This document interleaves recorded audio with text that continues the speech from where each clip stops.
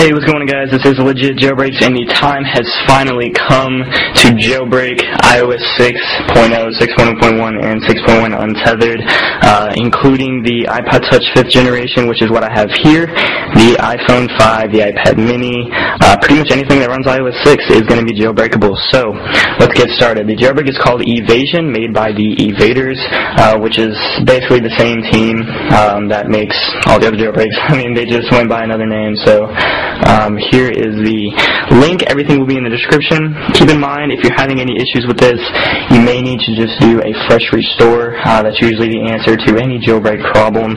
Um, so here we go. It says, welcome to Evasion. This is untethered jailbreak for iOS 6.0 through 6.1. Connect your iPhone, iPod Touch, or iPad to begin. So we're going to use our lightning connector here.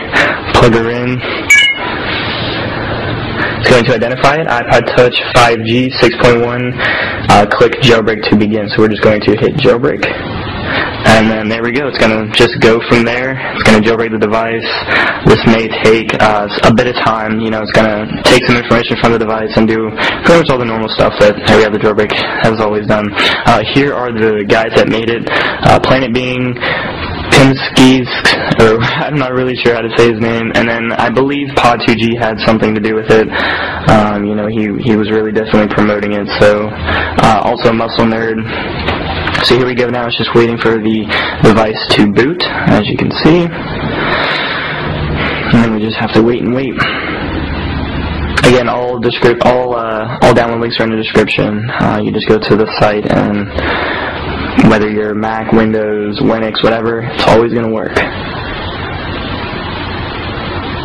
Alright, it booted back up, but don't touch the device.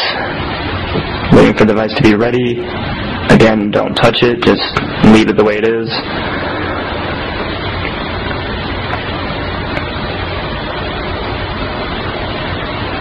Preparing stage 2 jailbreak data, step 1 of 3.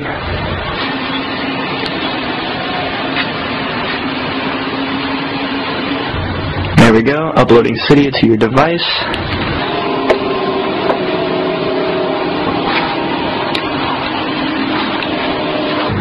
To continue, please un unlock your device and tap the new jailbreak icon. Only tap it once, the screen will go black, and then return to the home screen. So here you go, we have this new little icon here, the Evaders icon.